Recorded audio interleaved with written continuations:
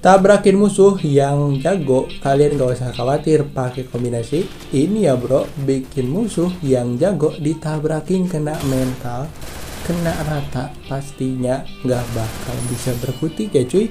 Nah kombinasi ini itu banyak banget tipenya. Dari mulai skill karakter kecepatan, kelincahan, pertahanan. Pokoknya enak banget buat kalian semua yang suka nabrakin tapi musuhnya tuh jago banget gitu ya susah dikalahin. Nah yang pertama ini buat kelincahan dan pastinya buat nabrak.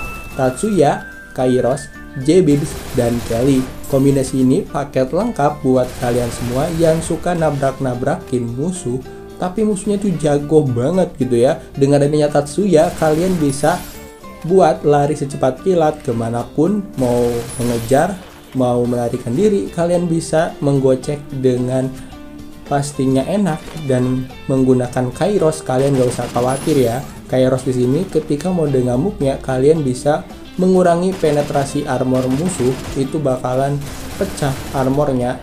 Ya 100% cuy. Bayangin ya kan langsung masuk tuh damage ya cuy. Biasanya kan kalau fast nya makin tinggi damage nya itu makin uh, dikit. Ini enggak guys. Karena mode ngamuknya ini dengan adanya JBIMS di sini kalian bisa memblokir 8% damage dari yang namanya musuh. Damage musuh ya cuy.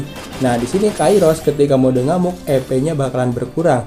Agar EP-nya itu tidak yang namanya mubazir atau tidak terbuang sia-sia gitu ya. Nah, JBIMS ini solusinya. Dengan adanya Kelly kalian bisa dengan mudah masuk ngegocek ngeratain musuh yang jago nabrakin dengan kecepatan lari 6% cuy. Kombinasi yang kedua gak kalah keren ada Saine, Lequeta, Antonio, dan Kelly. Kombinasi ini itu kombinasi yang menurutku enak banget buat nabrakin musuh karena musuh jago susah banget kita kalahin, ya kita juga susah dikalahin. Dengan adanya Saine, kalian bisa menambahkan nano shield ataupun hap apa ya? Pelapis face yang warna biru di atasnya EP cuy itu bakalan melindungi face kalian sekaligus damage-nya. Itu bener-bener sangat sangat-sangat sedikit masuk ke arah kita guys. Kayak ada perlindungan ya kan? Dengan adanya Saine ketika kalian ngekill juga ketika kenokin dapat lagi shield tuh guys. Jadi unlimited dengan tambahan Lequeta juga nambahin nano shield yang awalnya nambahin 50 sekarang 50 nano shield. Jadi enak banget tuh. Dengan tambahan Antonio juga kalian dapat 40 nano shield lagi guys. Bayangin tuh guys. Gimana susahnya musuh jago yang kita mau tabrakin ya kan? Itu kalah gitu. Kita kalah tuh susah banget gitu ya. Kalahin dulu tuh nano shield face kita baru de, uh, darah kita.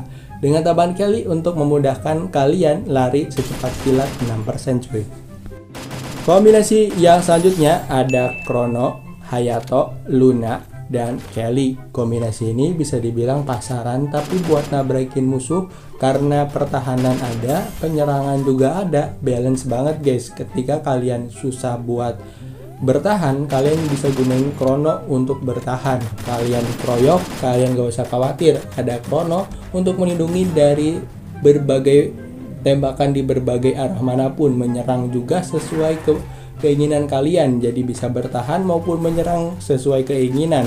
Dengan tambahan Hayato di sini memudahkan kita untuk menghancurkan penetrasi armor musuh sebesar 5% untuk yang namanya awakeningnya mengurangi damage fatal 2% saat darah kalian berkurang 13%.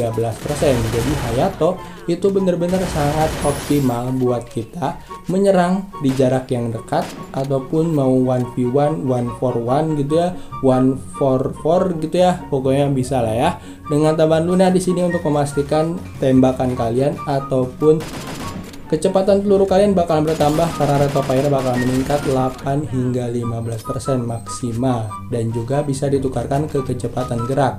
Dengan tambahan Kelly untuk memaksimalkan lari kalian 6% lebih cepat dan lebih lincah pastinya guys.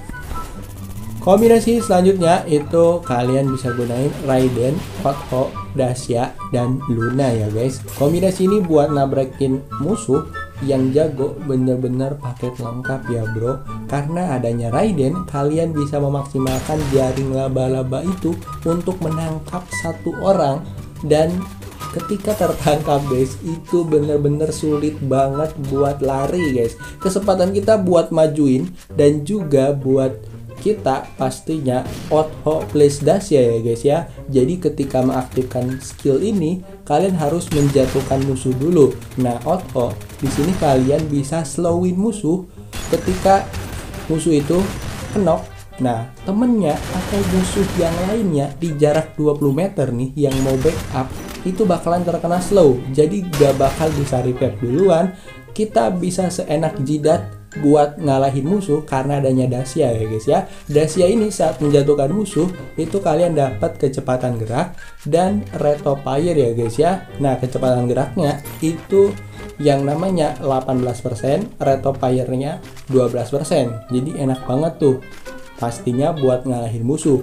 Dengan tambahan Luna di sini tambah lagi tuh rate of fire ya guys 8 hingga 15%. Bayangin guys, kecepatan peluru kalian, kecepatan gerak kalian juga itu bakalan meningkat dengan cepat cuy. Jadi kayak bakalan mudah buat nabrakin musuh yang suka ngendok-ngendok ataupun yang suka berkumpul guys.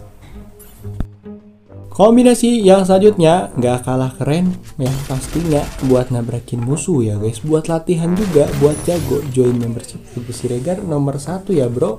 Nah bisa kalian cek pin komen Bisa kalian cek link di deskripsi Atau salin tautannya ke Google ataupun ke Chrome langsung gabung sekarang. Nah ada Alok, Caroline, Hayato, dan Kelly. Kombinasi ini bener-bener sepuh buat tabrakin musuh guys. Jadi bakalan enak banget tuh Buat nabrakin pakai Alok kalian bisa lebih cepat buat yang namanya bergerak lari 15% dan dapat darah 50 HP dengan tambahan Caroline di sini dapat move on speed sebesar 16% pastinya buat ngegocek-gocek buat lincah itu enak banget Pastinya penggunaan dari Hayato di sini untuk memudahkan kita untuk meningkatkan penetrasi armor musuh sebesar 5% saat darah kalian berkurang 13% pastinya.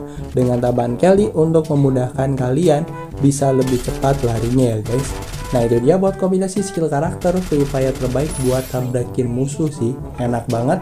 Buat musuh yang jago itu gak usah khawatir bro. Dengan kombinasi ini itu perfect banget buat nabrakin musuh. Oke segitu aja buat video tadi. Coba lihat subscribe dan share biar teman-teman guys semua pada jago dah